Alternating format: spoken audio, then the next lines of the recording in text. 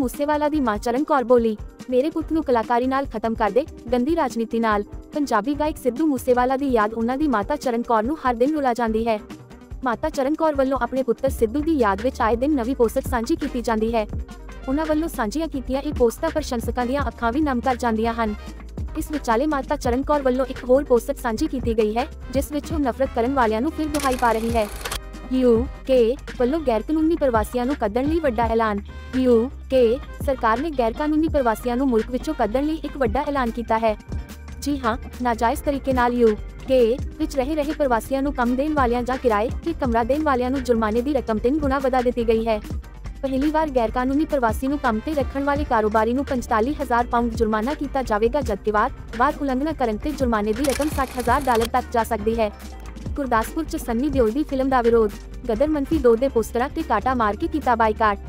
ਗੁਰਦਾਸਪੁਰ ਦੇ ਵਿੱਚ ਅਦਾਕਾਰ ਸੰਨੀ ਦਿਓਲ ਦੀ ਫਿਲਮ ਗਦਰ ਮੰਥੀ 2 ਦਾ ਨੌਜਵਾਨਾਂ ਨੇ ਵਿਰੋਧ ਕੀਤਾ ਹੈ। ਨੌਜਵਾਨਾਂ ਨੇ ਫਿਲਮ ਦੇ ਪੋਸਟਰਾਂ ਰਾਹੀਂ ਇਸ ਫਿਲਮ ਦਾ ਬਾਈਕਾਟ ਕਰਨ ਦਾ ਐਲਾਨ ਕੀਤਾ ਹੈ।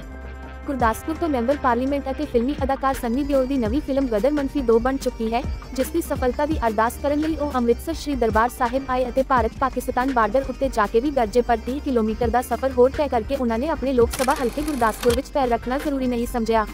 ਜਲੰਧਰ ਮਾਡਲ ਟਾਊਨ ਵਿੱਚ ਦਿਨ ਦਿਹਾੜੇ ਲੁੱਟ ਦੀ ਵਾਰਦਾਤ, ਬੰਦੂਕ ਦੀ ਨੋਕ ਤੇ ਖੋਹੀ ਕਾਰ, ਜਲੰਧਰ ਸ਼ਹਿਰ ਵਿੱਚ ਚੋਰੀਆਂ ਅਤੇ ਲੁੱਟ ਖੋਹ ਦੀਆਂ ਘਟਨਾਵਾਂ ਦਾ ਗ੍ਰਾਫ ਲਗਾਤਾਰ ਵੱਧਦਾ ਜਾ ਰਿਹਾ ਹੈ ਅਤੇ ਅੱਜ ਸ਼ਹਿਰ ਦੇ ਪੌਸ਼ ਇਲਾਕੇ ਤੋਂ ਵੱਡੀ ਖਬਰ ਸਾਹਮਣੇ ਆਈ ਹੈ।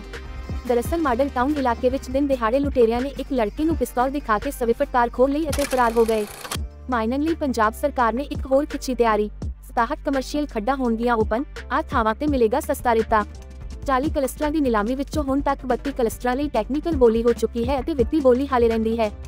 ਸਰਕਾਰ ਵੱਲੋਂ ਜਨਤਕ ਤੇ ਕਮਰਸ਼ੀਅਲ ਦੋਵੇਂ ਖੱਡਾਂ ਤੋਂ ਲੋਕਾਂ ਨੂੰ 5.50 ਰੁਪਏ ਪ੍ਰਤੀ ਕਿਊਬਕ ਫੁੱਟ ਦੀ ਕੀਮਤ ਅਨੁਸਾਰ ਰੇਤਾ ਦਿੱਤਾ ਜਾ ਰਿਹਾ ਹੈ। ਨੀਤ ਹੇਰ ਨੇ ਅੱਗੇ ਦੱਸਿਆ ਕਿ ਮੁੱਖ ਮੰਤਰੀ ਵੱਲੋਂ ਹੁਣ ਤੱਕ 60 ਜਨਤਕ ਖੱਡਾਂ ਸੂਬਾ ਵਾਸੀਆਂ ਨੂੰ ਸਮਰਪਿਤ ਕੀਤੀਆਂ ਗਈਆਂ ਹਨ ਅਤੇ 13 ਹੋਰ ਨਵੀਆਂ ਜਨਤਕ ਖੱਡਾਂ ਜਲਦ ਸ਼ੁਰੂ ਕਰਨ ਦੀ ਤਿਆਰੀ ਹੈ। ਲੁਧਿਆਣਾ 'ਚ ਪ੍ਰੇਮ ਵਿਆਹ ਦਾ ਦਰਦਨਾਕ ਅੰਤ ਭਰਾਨੇ ਪੈਣ ਦੇ ਮਾਰੀਆਂ ਚਾਰ ਗੋਲੀਆਂ, ਦੋ ਸਿਰ ਤੇ ਦੋ ਅੱਖਾਂ ਵਿੱਚ ਦੀ ਹੋਈਆਂ ਆਰ-ਪਾਰ। ਸੰਦੀਪ ਕੌਰ ਨੂੰ ਉਸਦੇ ਭਰਾ ਨੇ ਪ੍ਰੇਮ ਵਿਆਹ ਕਰਵਾਉਣ ਉਤੇ ਬੇਰਹਿਮੀ ਨਾਲ ਮਾਰ ਦਿੱਤਾ ਸੀ। ਰੈਪਿਡ ਫਾਇਰ ਵਿੱਚ ਸੰਦੀਪ ਕੌਰ ਨੂੰ ਚਾਰ ਗੋਲੀਆਂ ਲੱਗੀਆਂ। ਇਹਨਾਂ ਵਿੱਚੋਂ ਦੋ ਗੋਲੀਆਂ ਉਸਦੇ ਸਿਰ ਅਤੇ ਦੋ ਉਸਦੇ ਚਿਹਰੇ ਤੇ ਲੱਗੀਆਂ। ਚਾਰੇ ਗੋਲੀਆਂ ਆਰ-ਪਾਰ ਲੰਘ ਗਈਆਂ ਸਨ, ਜਿਸ ਕਾਰਨ ਸੰਦੀਪ ਕੌਰ ਦੀ ਮੌਕੇ ਤੇ ਹੀ ਮੌਤ ਹੋ ਗਈ।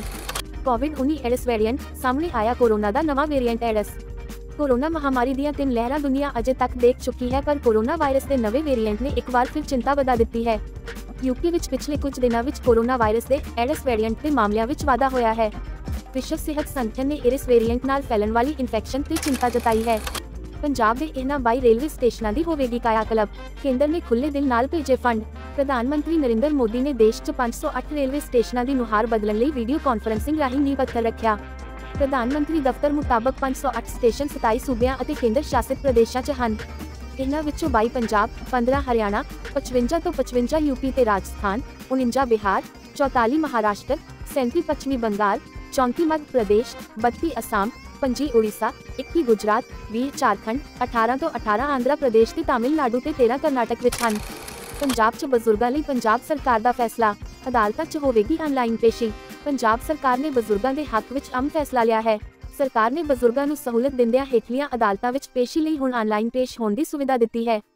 ਸਰਕਾਰ ਇਸ ਪੇਸ਼ੀ ਲਈ ਆਨਲਾਈਨ ਲਿੰਕ ਜਾਰੀ ਕਰੇਗੀ, ਤੁਹਾਡੀ ਦਵਾਈ ਅਸਲੀ ਹੈ ਜਾਂ ਨਕਲੀ? ਹੁਣ ਕਿਊਆਰ ਕੋਡ ਤੋਂ ਪੁੱਛੋ, ਮਿਲੇਗੀ ਪੂਰੀ ਜਾਣਕਾਰੀ ਦਵਾਈ ਅਸਲੀ ਹੈ ਜਾਂ ਨਕਲੀ? ਪ੍ਰਭਾਵਸ਼ਾਲੀ ਜਾਂ ਬੇਅਸਰ ਹੈ? ਜੇਕਰ ਤੁਹਾਡੇ ਵੀ ਅਜਿਹੇ ਸਵਾਲ ਹਨ, ਤਾਂ ਤੁਹਾਨੂੰ ਇਹਨਾਂ ਸਵਾਲਾਂ ਤੋਂ ਛੁਟਕਾਰਾ ਮਿਲਣ ਵਾਲਾ ਹੈ। ਦਰਅਸਲ, ਕੇਂਦਰ ਸਰਕਾਰ ਨੇ ਮੰਗਲਵਾਰ ਨੂੰ ਕਰੀਬ 300 ਦਵਾਈਆਂ ਤੇ ਕਿਊਆਰ ਕੋਡ ਲਗਾਉਣ ਦਾ ਆਦੇਸ਼ ਜਾਰੀ ਕੀਤਾ ਹੈ। 300 ਬ੍ਰਾਂਡ ਨਾਮ